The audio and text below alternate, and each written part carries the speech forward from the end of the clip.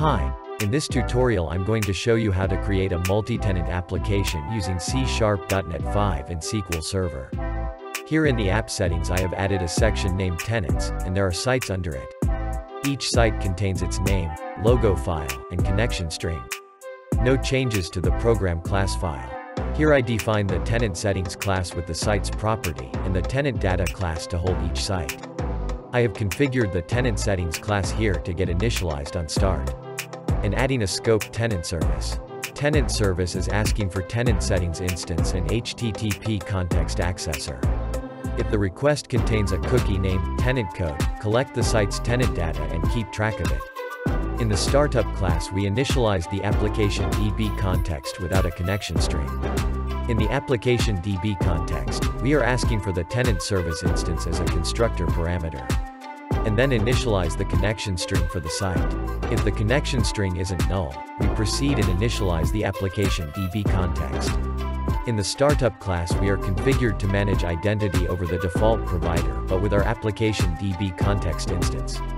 In that way, we manage site-wise user accounts. In the home controller, I'm asking for a logger instance, tenant settings and the tenant service. In the index, we show all available sites. If the request is already initialized for a site, then send the site's data to index view. If the site is selected, show the logout option. Else let the user choose a site. Again in the home controller, we have two more actions. Add a tenant code cookie to the request based on the user selection. Remove the tenant code cookie based on the user's request. In the app settings, I have added two sites. Let's create databases for each of them. There are a bunch of ways to do it.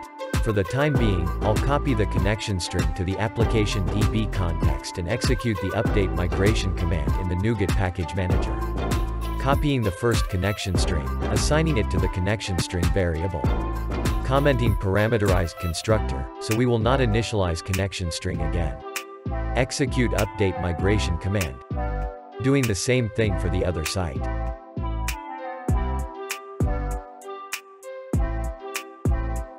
Here we have two databases, and here the tables of them.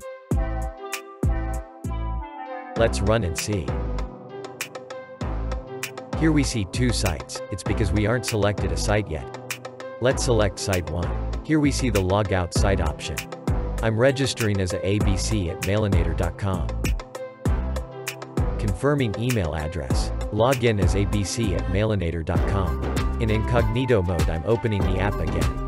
Choosing Site Z registering as XYZ at mailinator.com. Confirming email address. Login as XYZ at mailinator.com. Let's see how it has stored. Opening Site 1 database and users table.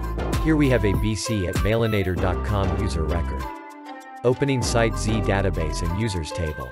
Here we have XYZ at mailinator.com user record. Thanks for watching. GitHub repository link is in the video description. To learn more tutorials like this, hit a like button and subscribe the channel.